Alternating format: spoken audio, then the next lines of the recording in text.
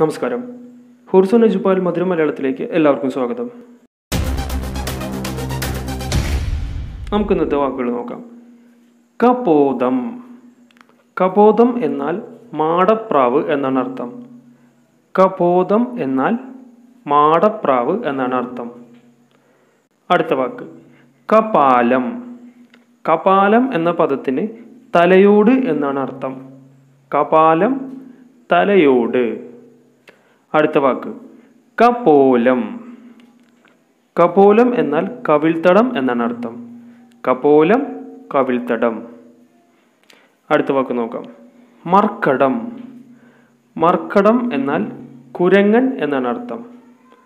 മർക്കടം കുരങ്ങൻ. എങ്കിൽ മർക്കടകം എന്ന വാക്കിന്റെ അർത്ഥമെന്ത്? മർക്കടകം എന്നാൽ ചിലന്തി എന്നാണ് അർത്ഥം. മർക്കടകം ചിലന്തി ഇനി ഇന്നലെ ഒരു ടാസ്ക് വന്നിട്ടുണ്ടായിരുന്നു നാക്കം എന്ന വാക്കിന്റെ അർത്ഥം എന്ത് ശരി ഉത്തരം സ്വർഗം എന്നാണ്. നാക്കം എന്നാൽ സ്വർഗം.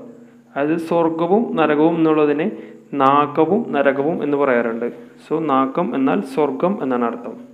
അടുത്തത് ഇന്നത്തേക്കുള്ള ടാസ്ക്കാണ്. അഴൽ എന്ന പദത്തിന്റെ അർത്ഥം എന്ത് നാല് ഓപ്ഷൻസ് താഴെ തന്നിട്ടുണ്ട്. അപ്പോൾ അതിൽ നിന്നും ശരിയായ ഉത്തരം ഏതാണോ അത് ഈ വീഡിയോയ്ക്ക് താഴെ കമന്റ് ചെയ്യുക. ഈ വീഡിയോ നിങ്ങൾക്ക് ഇഷ്ടമായാൽ വീഡിയോ ലൈക്ക് ചെയ്യാനും ചാനൽ സബ്സ്ക്രൈബ് ചെയ്യുന്നതിനോടൊപ്പം ബെല്ലൈക്കൺ പ്രസ് ചെയ്യാനും മറക്കാതിരിക്കുക.